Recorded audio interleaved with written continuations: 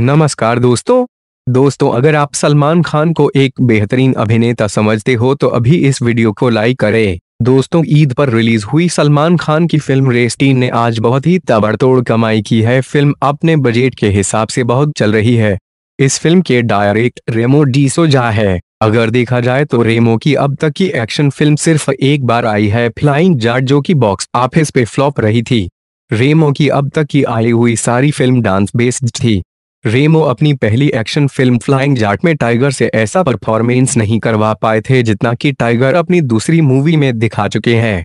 लेकिन रेमो की डायरेक्शन में बनी रेस्ते भी बहुत तबड़तोड़ कमाई कर रही है क्योंकि इसमें अपने भाई जान सलमान खान है।